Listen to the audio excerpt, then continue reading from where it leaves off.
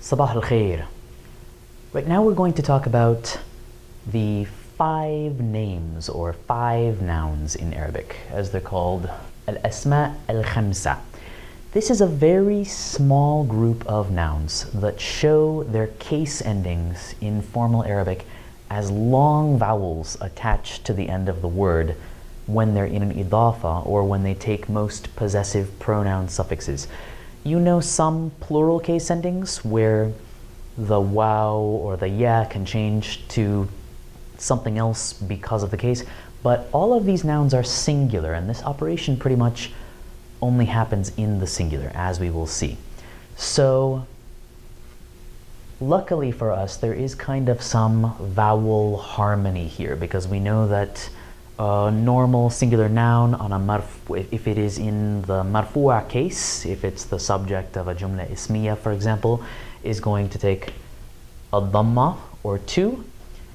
And here we attach a wow to the end of these words. So if I were talking about ab or akh, two words that you probably know, dad or brother, and I had it in an idaf, I would say akhu. Similarly, in the mansub, we can expect a fatha or two, and we have an elif here, so the sound is the same. A, a, short a, long a basically. And as you might expect with the majroor, on a normal singular noun, we would have some combination of one kasra or two, and instead we have a long ya attached to it.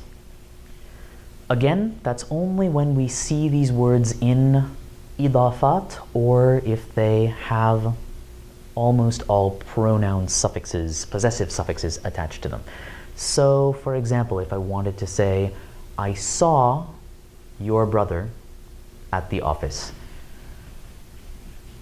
I saw Ra'aytu your brother. Now, ordinarily, if we didn't know any better, we could just take the word akh and add a kaf. But because akh is one of these special nouns, I need to demonstrate the case, which is mansub because the brother is the object of the verb saw, right? So it would turn out رأيت أخاك في المكتب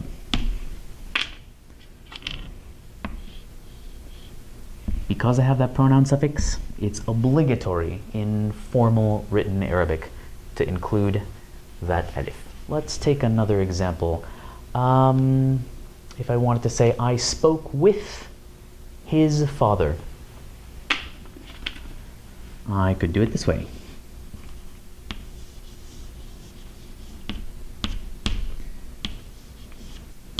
تكلمت مع I spoke with his father. Now here I have a preposition, so I know that after a preposition in Arabic I'm going to have a noun in majrur, which means I'm going to take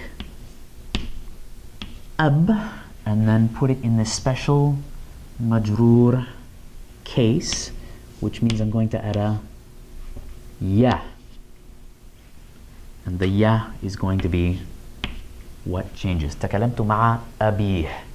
I spoke with his father. If we change that to an idafa, if we wanted to say, whose father? Well, I spoke with Adam's father. I would say, تكلمت مع أبي Adam. So instead of attaching that pronoun suffix, I would keep the ya, the ya is important, and just add whatever noun completed my idafa at the end.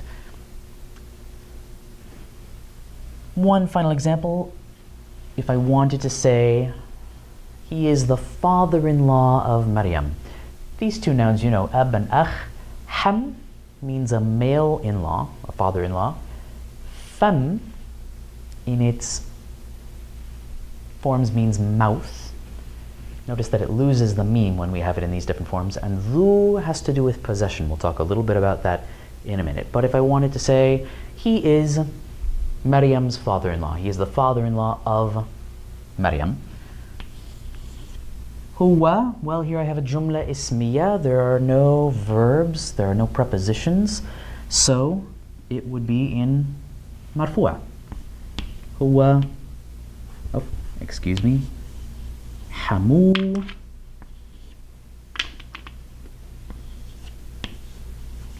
Maryam. And because this is an idafa, I see that case ending on the noun here. Fam, a word that might be less familiar to you than ab or akh, means mouth, and you'll notice that it's sort of distinctive in that the meme that we see when it's not in an idafa or in a possessive construct, excuse me, yes, the meme when it's not in a possessive construct is cut off when it's in an idafa or when it is attached to a pronoun suffix. So we say fu, fa, fi in these particular situations.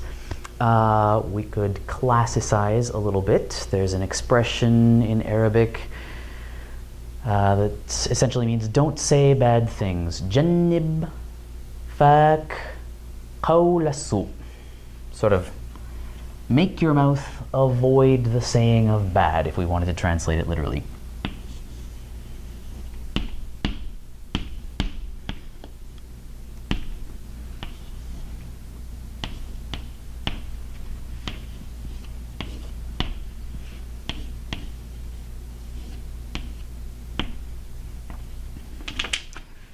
Jannib so it's comes from a root that means avoiding, but in this case it's a form two verb meaning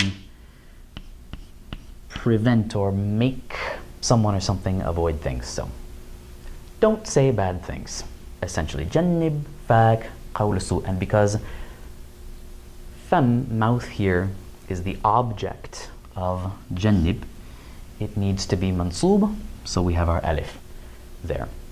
Note that the first person singular ending, when we attach a ya to the end of a word, swallows up these endings. That's the one exception. That's why I said most pronoun suffixes, but not absolutely all of them.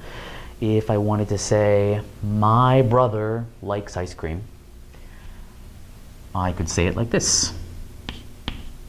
أخي يحب al If we were following these rules, we might expect akhu plus the ya, but that doesn't happen. The e sound is strong enough that it swallows up the waw. Another way to think of it is that Arabic in general really does not like the vowel combinations of ui and you, neither of which sound particularly pleasant, right? Ui kind of sounds like you bumped the corner of a counter with your solar plexus, and you kind of sounds like you stepped on something cold and wet. They're unpleasant vowel combinations generally, right? They're not as easy on the ears. So, a hui, not going to happen. Our final word, the final name in our five names, al-asma al-khamsa, is dhu. And dhu is unique in a couple of ways. Dhu is a word that we're only ever going to see in an idafa construct. It kind of means having or possessing. And serves a function similar to other words that you know to express possession, like aind or li. But dhu is typically reserved for physical attributes like having blonde hair or blue eyes, for example, or abstract qualities. Someone who has a lot of administrative experience or has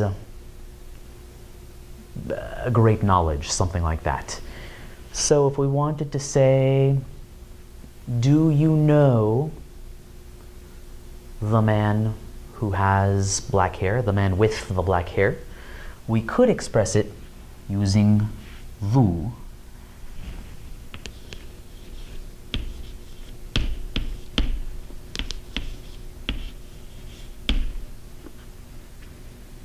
هل تعرف الرجل? Do you know the man? Now here, الرجل is the object of تعرف. Do you know the man? So it's mansub. We would add a fatha there if we were vocalizing our entire sentence. and then because الرجل is منصوب ذا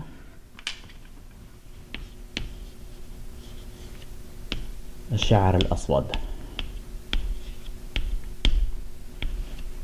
Do you know the man possessing black hair? You'll notice that I've put a little asterisk here. That's because Dhu is unique among these Asma Khamsa, these five names, in that it also changes depending on the number and gender of what it's describing. We have separate versions of Dhu for feminine singular, for masculine plurals, for feminine plurals. For now, the important thing is to recognize it, but if you're curious, there is a separate video on the vagaries and idiosyncrasies of Dhu and how it works. The important thing for now, though, to recognize it when you see it and to know that it is one of these five names, all of which function in the same similar or regular pattern. If you need a refresher on when exactly a noun is going to be marfu'a or mansub or majrur, we have separate videos on all of those case endings that you can go back and watch.